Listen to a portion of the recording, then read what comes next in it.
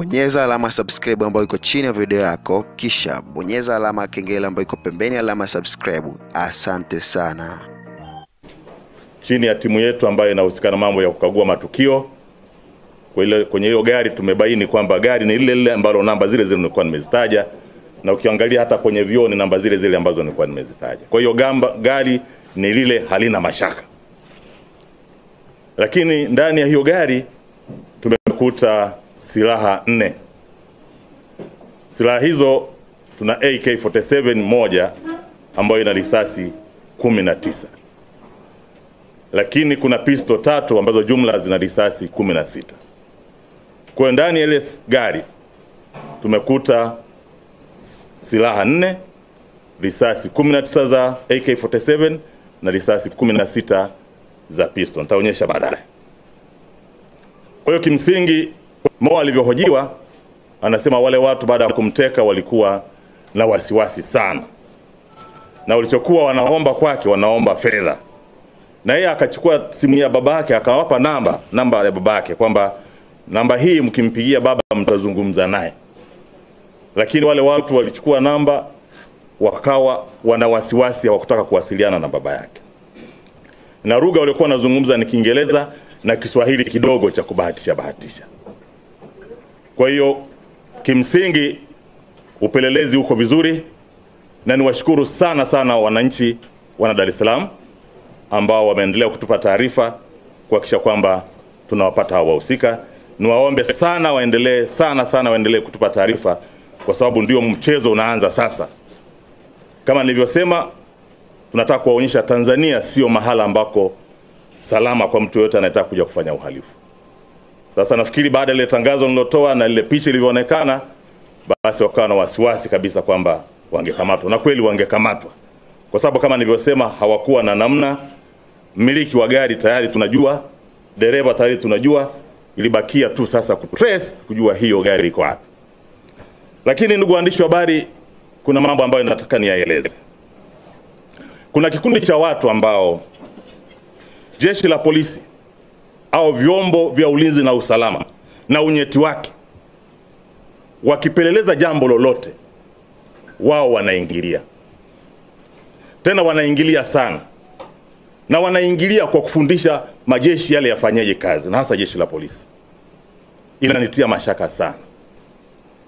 Niwaombe sana kwamba wasilazimishe kujenga uadui na majeshi yetu, wasilazimishe kujenga uadui na jeshi la polisi.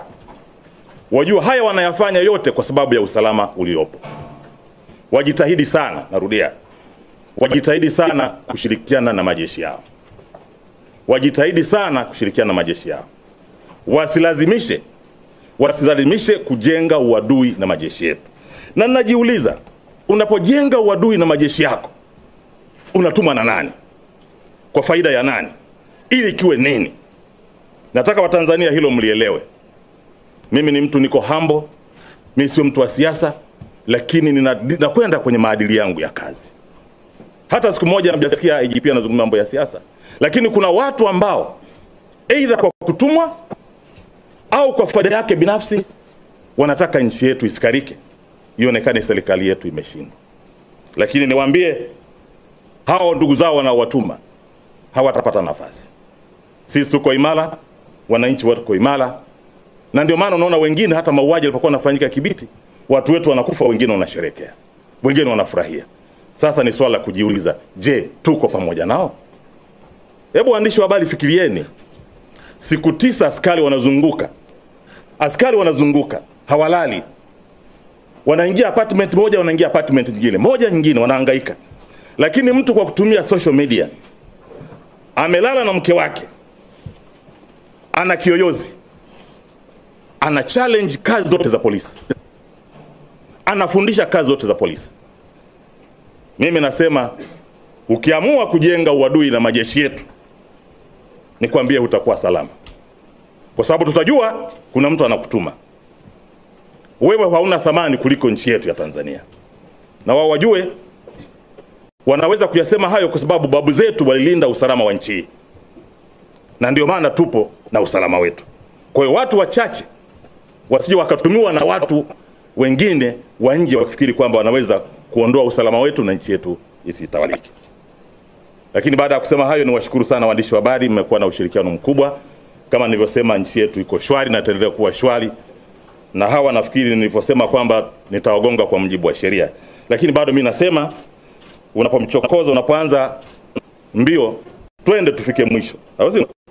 Twende tufike mwisho huko wataka kwenda, sisi hatuwezi kuachia, kwa sababu nikiachia, ina maana watakwenda, watajipanga, watakuja, na mwisho wa siku nitafurahi sana nikipata hawa jamaa aidha kama watakuwa wako hai au kama watagulia mbele ya haki. Lakini waandishi, niwaambie hawa ambao maadui zetu ni hawa hapa.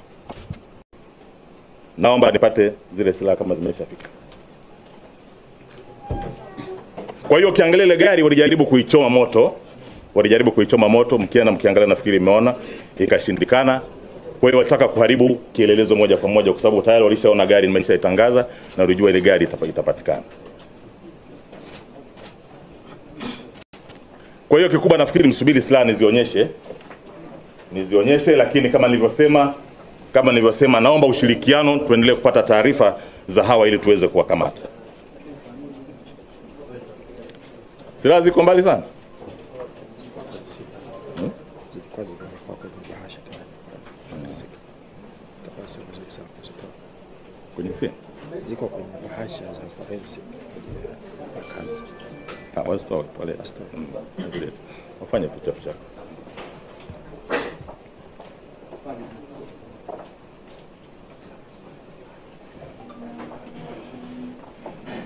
Maguma- Mna zile gloves, maana tushike kwa gloves.